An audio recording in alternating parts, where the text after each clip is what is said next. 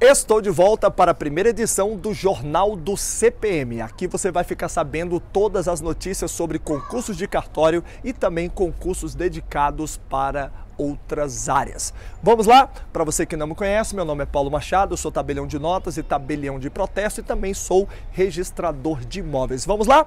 Bom, começando com concursos de cartório, acaba de ser marcada pela banca Vunesp a segunda fase do concurso para cartório do Rio Grande do Sul. Para você que não está sabendo, a prova da segunda fase do Rio Grande do Sul foi anulada por conta de alguns vícios, mas a banca já remarcou e ela vai acontecer no dia 1 de dezembro.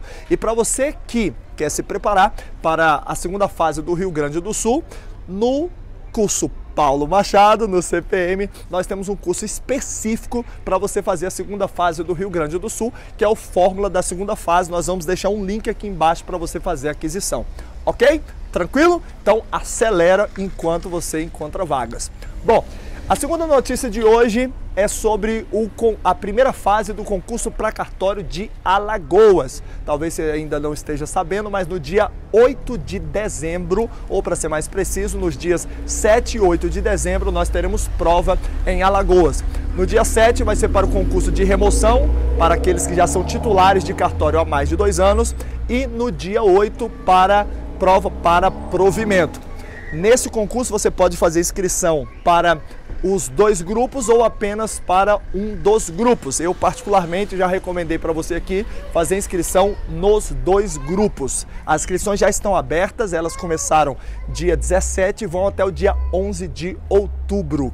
E detalhe, não é até o final do dia 11 de outubro, acho que encerram às 20 horas, então fique ligado para você não perder a sua inscrição. Faça hoje mesmo.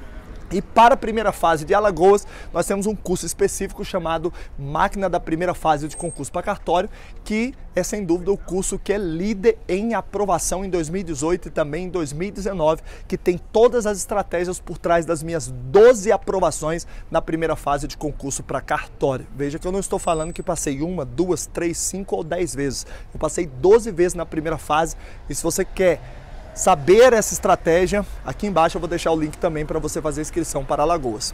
Bom, a terceira informação do jornal do CPM é sobre o concurso de Goiás.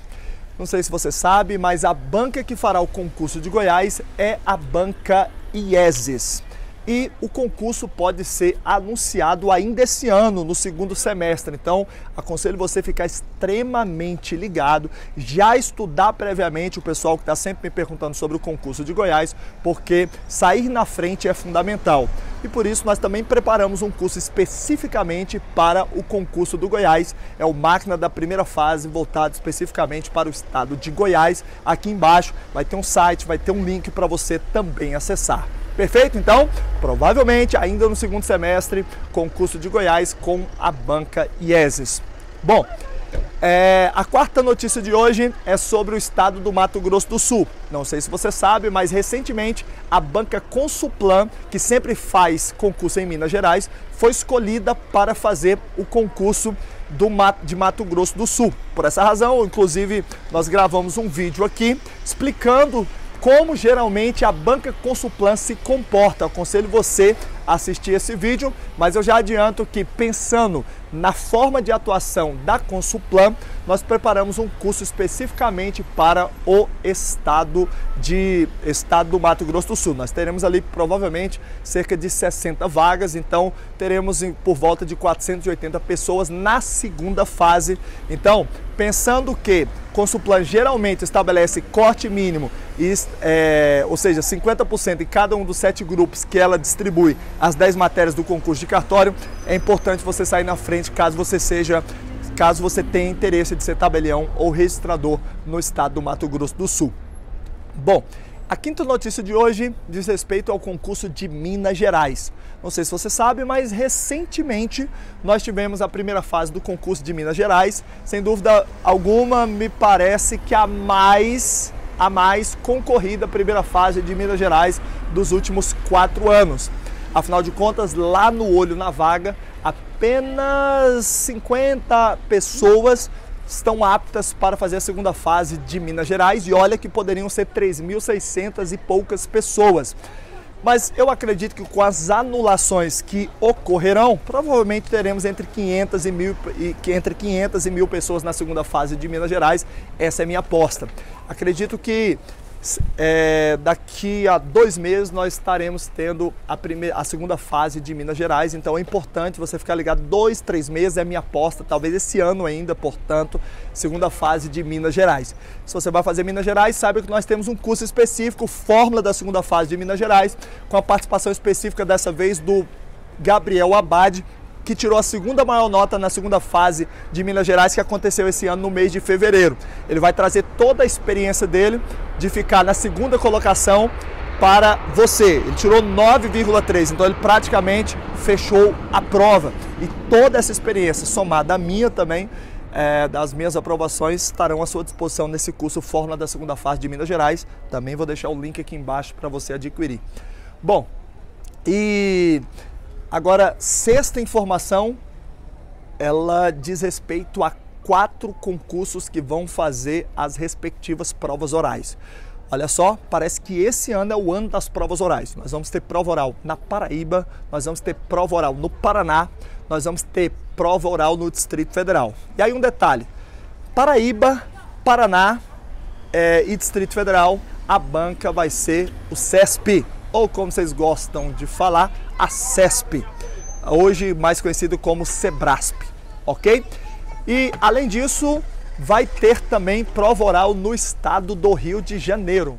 Para essas provas orais, o curso indicado para você é os Segredos da Prova Oral, o curso que foi utilizado por mim para tirar 9,83 na última prova oral que eu fiz verdade. Foi o curso também utilizado pela Fábia Pressa para fazer a prova oral no, no, no, estado do Rio Grande do Sul, onde ela tirou 10, 10 e 10. Também foi o curso utilizado pela Natália Periquito, do Rio de Janeiro, para tirar 10, 10 e 10 no estado do Ceará.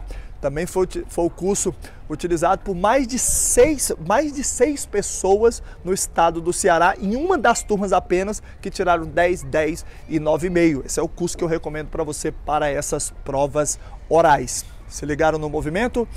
Bom, e a sétima, acredito que a sétima notícia de hoje do nosso jornal, nessa primeira edição, aliás, eu quero que você comente se você gostou, quero que você deixe um comentário aqui embaixo é, notícias sobre o concurso para agente da Polícia Civil do DF, para escrivão e também para delegado. Recentemente, é, o Distrito Federal anunciou que vai contratar cerca de 1.800 pessoas. Vai ser a maior contratação da história. E a banca já foi escolhida. E deixa eu dizer uma coisa para você: nos próximos meses vai ser liberado o edital. E se, você, e se você quer se preparar para a Polícia Civil do Distrito Federal, nós também temos um curso que tem como objetivo fazer você passar na prova da Polícia Civil do Distrito Federal. Afinal de contas, toda a minha experiência, é, que, toda a experiência que me levou a ser aprovado 12 vezes na primeira fase do concurso de cartório, toda a experiência que me levou a ser tabelião e registrador, eu vou colocar à disposição de você que quer passar para agente da Polícia Civil do DF ou para delegado ou para escrivão. Aqui embaixo vai ficar o nosso site, vão ficar informações para você ficar totalmente ligado, totalmente antenado com seus objetivos.